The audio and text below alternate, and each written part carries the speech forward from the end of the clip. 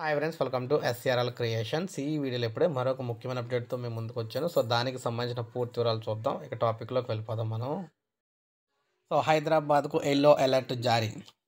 భారీగా పొగమంచు కురిసే అవకాశం. అప్రమత్తంగా ఉండాలని వాహనదారులకు హెచ్చరిక.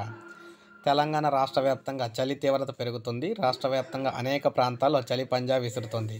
హైదరాబాద్లో ఉష్ణోగ్రతలు భారీగా పడిపోయాయని వాతావరణ శాఖ హెచ్చరించింది. సుమారు పదకొండు డిగ్రీల కనిష్ట ఉష్ణోగ్రత నమోదవుతుందని పేర్కొంది.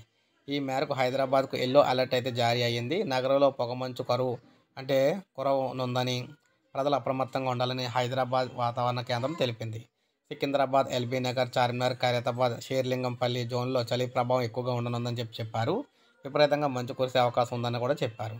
సో అవస అవసరమైతే తప్ప ఉదయం సాయంత్రం రాత్రి వేళ వాహనాలతో బయటకు తిరగొద్దని చెప్పేసి చెప్పడం జరిగింది. ఆస్తమా సైనసైటిస్ వంటి అనారోగ్య సమస్యలు ఉన్నవారు బయటకు వెళ్ళకుండా జాగ్రత్త పడాలని సూచించింది. గడిచిన ఇరవై నాలుగు గంటలు ఆదిలాబాద్ భద్రాచలం హకింపేట హన్మకొండ మహబూబ్ నగర్ మెదక్ నిజామాబాద్ రామగొండలో కనిష్ట ఉష్ణోగ్రత నమోదైనాయి అనమాట సో ఇరవై నాలుగు గంటల పాటు ప్రజలు ఎవరు కూడా ఉదయం సాయంత్రం బయటకు అయితే వెళ్ళొద్దని చెప్పడం జరిగింది. సో ఇది మనకు అప్డేట్. ఒక లైక్ చేయండి సబ్స్క్రైబ్ చేసుకోకపోతే మన ఛానల్ సబ్స్క్రైబ్ చేసుకొని ఫాలో అవుతుండండి.